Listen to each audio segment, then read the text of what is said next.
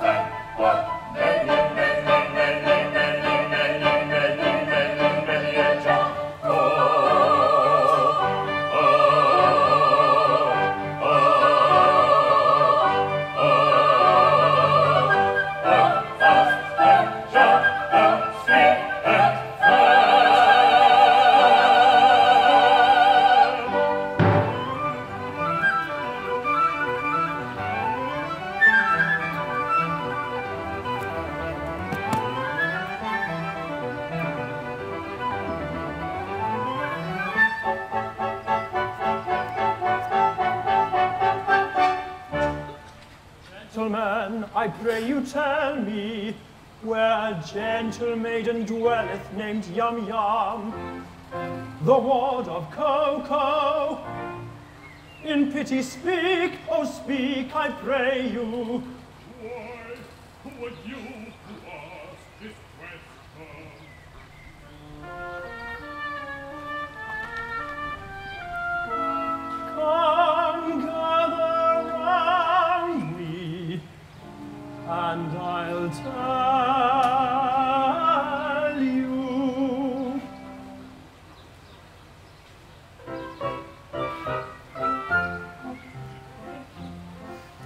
A wandering minstrel I, a thing of shreds and patches, of ballad songs and snatches, and dreamy lullaby.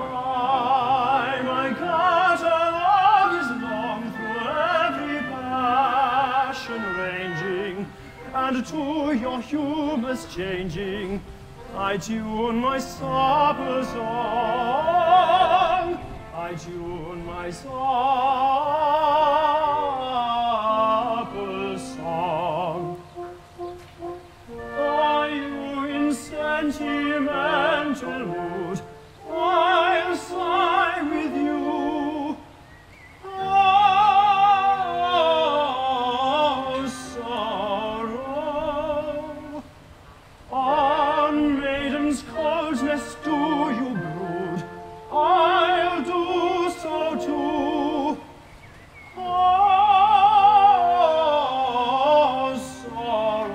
sorrow. I'll charm your willing ears with songs of lovers' fears, while sympathetic tears my cheeks bid you.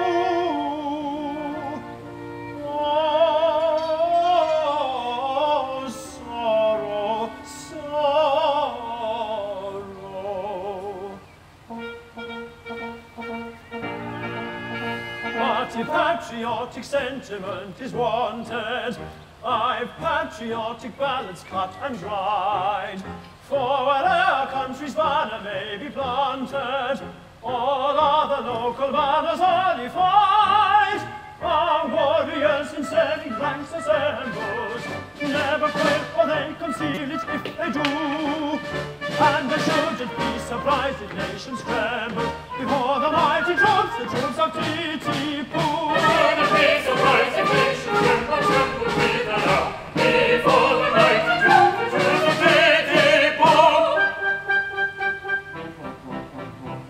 And if you call for a song of the sea, we'll heave the capstan around. With a yo ho, for the wind is free, and anchors a trip, and a hands a lee. Hurrah for the homeward bound. Ho, heave ho, hurrah for the were bound. To lay aloft in a howling breeze may tickle a landsman's taste, but the happiest hour a sailor sees is when he's down at an inland town with his Nancy on his knees. Yo-ho! and his arm around her waist. And then the captain of me goes and the center's round, and the young people and the running on and rough, the whole world. round.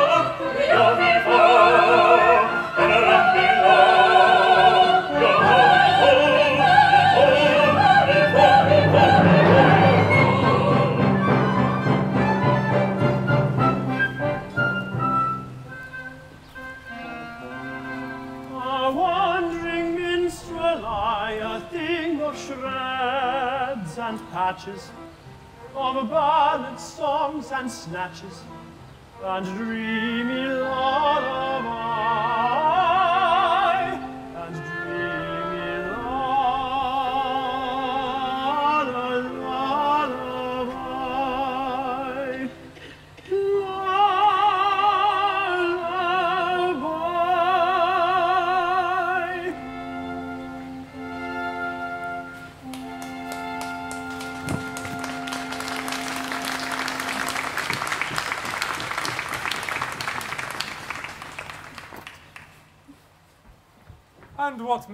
business be with Yum Yum? I'll tell you. A year ago, I was a member of the Titipu Town Band. It was my duty to take the cap round for contributions. Whilst discharging this delicate office, I saw Yum Yum. We loved each other at once, but she was betrothed to her guardian, Ko-Ko, a cheap tailor, and I saw that my suit was hopeless. Overwhelmed with grief, I quitted the town. Judge of my delight when I discovered a month ago that Ko-Ko had been condemned to death for flirting.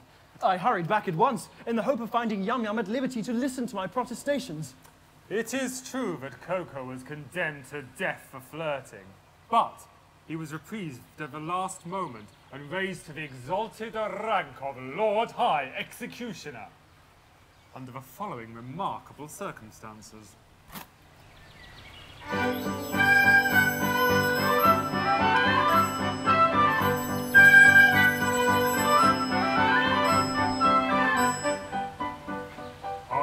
Mikado, virtuous man, when he to rule our land began, resolved to try a plan whereby young men might best be steady. So he decreed in words succinct that all who flirted, lit or winked, unless connubially linked, should forthwith be beheaded, beheaded, beheaded,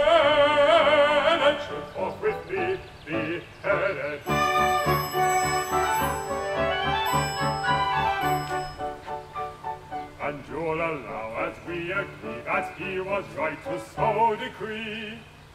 And we are right, and you are right, and all is right as right can be. And you are right, and we are right, and all is right as right as right can be. And all is right as right can be.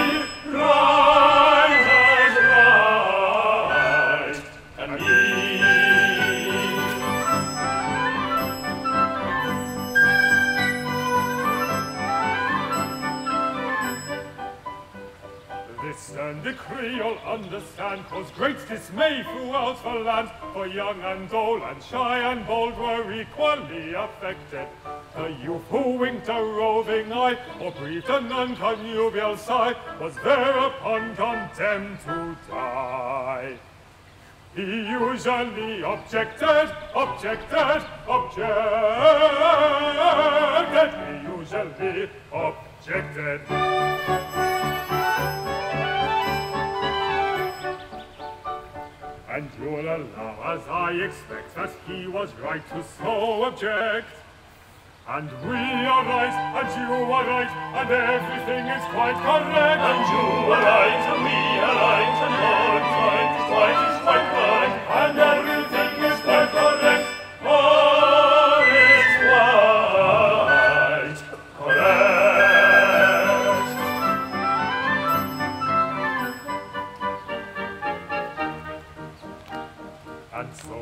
straight let out on bail a convict from a county jail, whose head was next on some pretext condemned to be mown off, and made him headsman, for we said, who's next to be decapitated, cannot cut off another's head until he's cut his own off, his own off, his own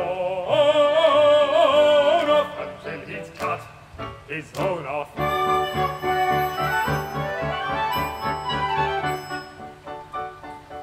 You'll allow, as I expect, that he was right to so object.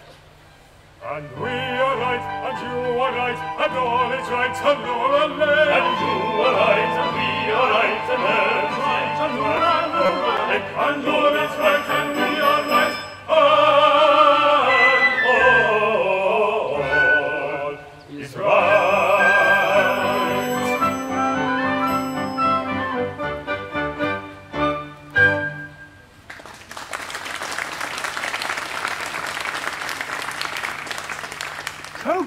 cheap tailor, Lord High Executioner of Titipu?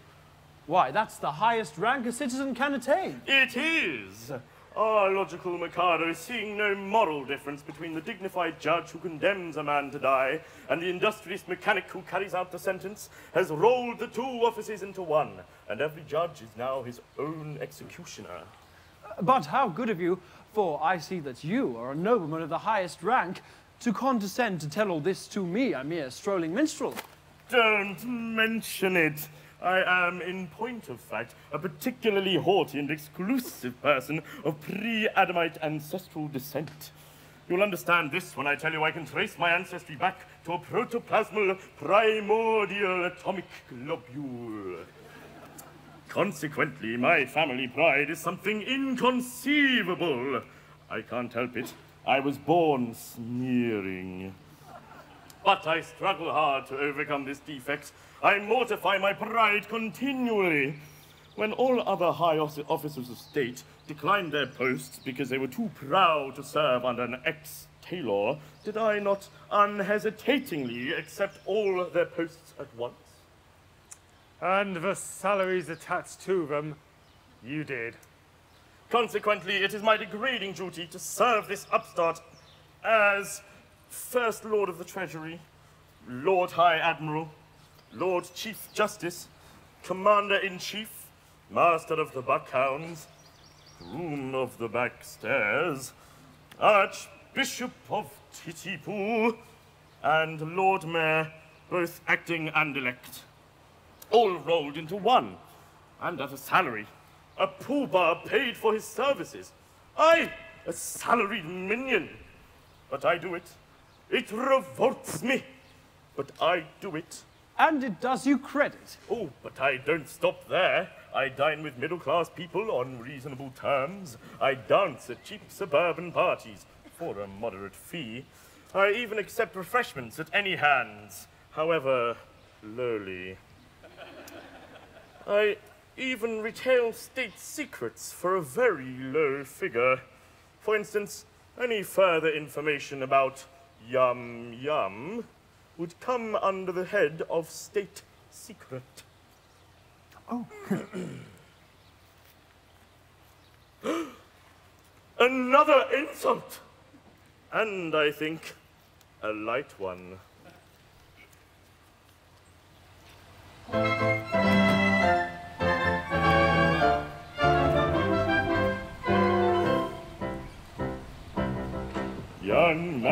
Eh, likewise go to, yam yam the fair, you must not who, it will not do, I'm sorry for you, you very imperfect ablutioner. This very day from school, yam yam, will went away and home would come with beats of drum and a rum tum tum to wait the Lord high executioner. The trumpet and the brass will flash and the trumpet play and the car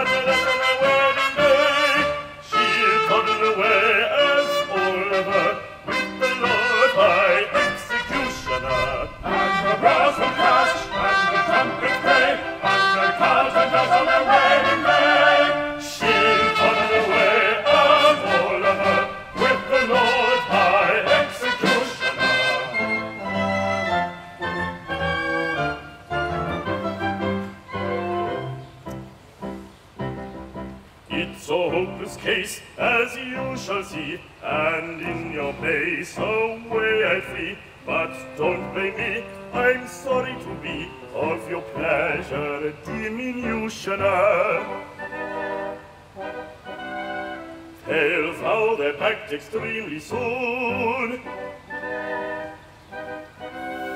In point of fact, this afternoon, her honeymoon with that buffoon at seven commences, so you shun her. And the brass will dash, and the trumpet play, and the carter dash on her wedding day. She'll toddle away as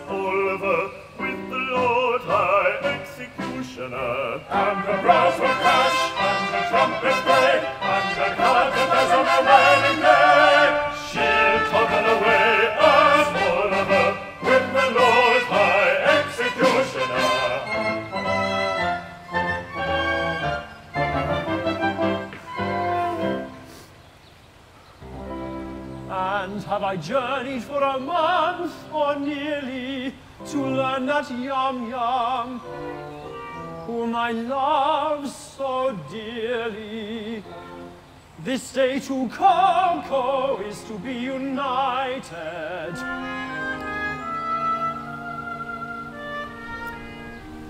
The fact appears to be as you've recited. But he comes as suits his station. He'll give you any further information.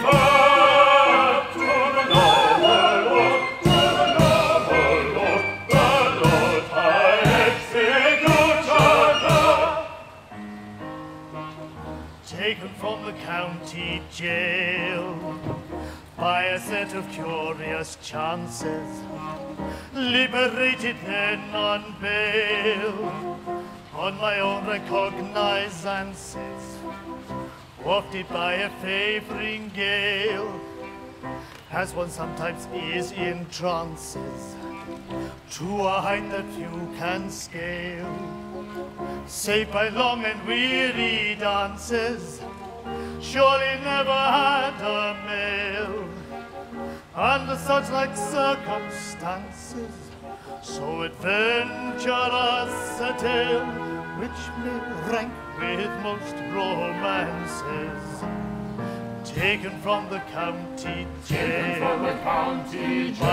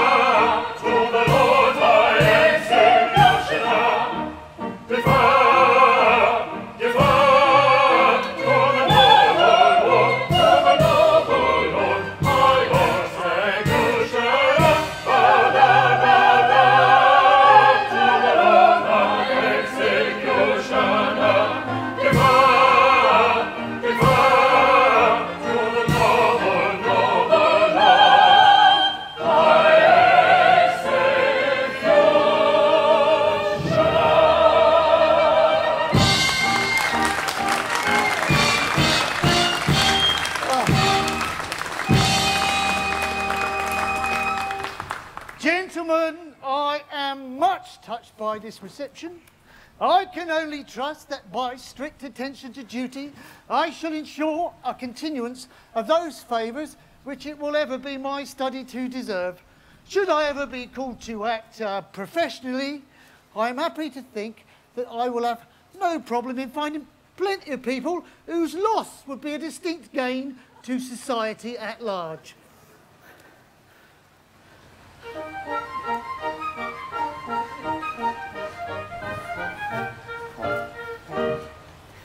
As someday it may happen that a victim must be found, I've got a little list, I've got a little list of society offenders who might well be underground, who never would be missed, who would be missed.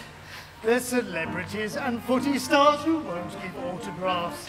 They're overpaid and not so bright and up their own. They're featured in the Daily Mail and stories they do tell. And people who believe in him, they're sure to go to hell. And that singular absurdity, the Jubilean Olympist, I think he's bronze and list.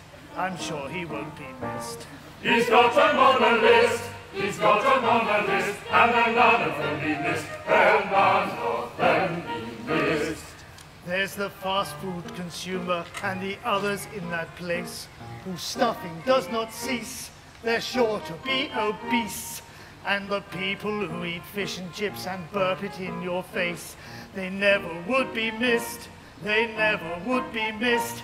Then the idiot who shouts aloud with enthusiastic tone all night in the high streets, the country up and down. And the hoodie who wears baggy jeans with undies hanging out, who's never done a day of work, he's simply just a lout. And that annoying phenomenon, Lord Sugar's apprentice, he's top of my list. I'm sure he's not being missed. He's got them on a list, he's got them on a list, and then none of them be missed, then none of them be missed. And those Facebookers and tweeters who just now are rather rife, it gives us lots of strife. They need to get a life. They fill up our pages with lots of expletives. They'll never be retweeted. I'm sure they'll be deleted. All audiences who are noisy and always like a chat and leave their mobile phones on and text and tweet. What? Twats? And the coalition government of the compromising kind with Cameron Osborne and who's the other find. They've all been to public school, but hey, never mind. For they've none of them been missed. They've none of them been missed. You may put them on the list, you may put them on the list, and then none of them be missed, then none of them be missed. Pooh Bah, it seems that the festivities in connection with my approaching marriage must last a week. I would like to do handsomely, and I want to consult you on how much I ought to spend upon them. Certainly, in which of my capacities, as Chancellor of the Exchequer, Privy Purse, Attorney General, or Private Secretary? Oh, suppose we say as private secretary. As Private Secretary, I should have no problem in saying, as the city will pay for it, don't stint yourself. Do it well. Exactly as the city will have to pay for it. That is your advice? As Private Secretary, of course, as Chancellor of the Exchequer, I should see that due economy is observed. Well, you just said just now, don't stint yourself, do it well. As Private Secretary, and now you're saying due economy must be observed. as Chancellor of the Exchequer. Oh, I see. Come over here, where the Chancellor can't hear us. Now, as my solicitor, how would you advise us to deal with this difficulty? As your solicitor, I should have no hesitation in saying, chance it. Thank you, I will. Of course, as Lord Chief Justice, I should see the law isn't violated. I see. Come over here where the Lord Chief Justice can't hear us. Now, as the First Lord of the Treasury, hmm, As First, First Lord of the Treasury, I could, of course, propose a vote to cover all expenses. If it were not that, as leader of the opposition, it would be my duty to fight it, tooth or nail. Oh, this is it. Or, as Paymaster General, I could so cook the books that as Lord High Auditor I should never discover my deceit. Well, that's, But of it. course, as Archbishop of Titipu, I would have to denounce my dishonesty and turn myself into my own custody as First Commissioner of Police. Well, that's extremely awkward. I never said that these distinguished people couldn't be squared, but of course they would have to be brought down in their own estimations by something like a very considerable bribe. The matter shall have my careful consideration. In the meantime, my bride and